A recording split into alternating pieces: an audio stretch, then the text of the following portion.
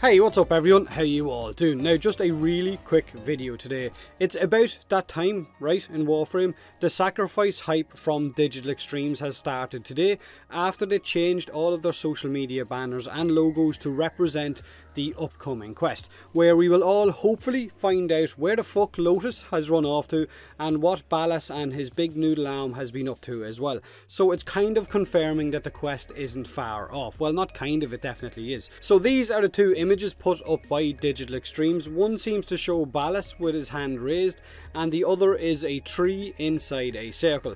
Now, the tree inside the circle, people on Reddit seem to think is pointing towards Lua and a room from the second dream, but we don't exactly know just yet. We're going to have to wait and see. Now, there is a dev stream this Friday, I believe, so maybe they will show off a little bit more or maybe let us know a little bit more on that dev stream, so stay tuned for that. Now, this kind of hype happens with every major update in Warframe. They normally hype it for about two weeks in advance of that update, which would mean that the Sacrifice quest is probably two weeks from now. Maybe Wednesday week, since Wednesdays for me is normally when updates drop in Warframe. Now, I'm assuming we'll get the usual hype website along with this update that will have a section of it revealed with every few days to get us more and more excited about the update and the items that are coming with it, and of course the quest as well.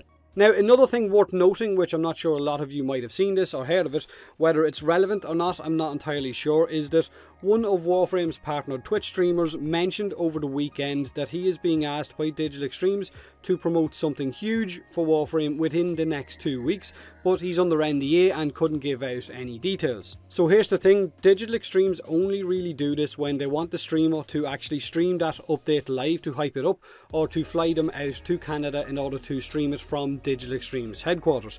But again, maybe this partner is going to be showing off something completely different, like maybe the Hydroid Prime trailer. Maybe it's not the Sacrifice Quest at all, but it just seems to all fall into line. So the Sacrifice Quest looks like it's getting really, really close. Ballas, Lotus, Umbra, and God knows what else we might get our hands on with this update. So are you hyped or not? Share your thoughts on the images in the comment section below this video if you want to, what you think these images actually mean. Do me a huge favour, hit that like button if you enjoyed the video, or don't if you didn't. Subscribe for more Warframe, and as always, thanks very much for watching.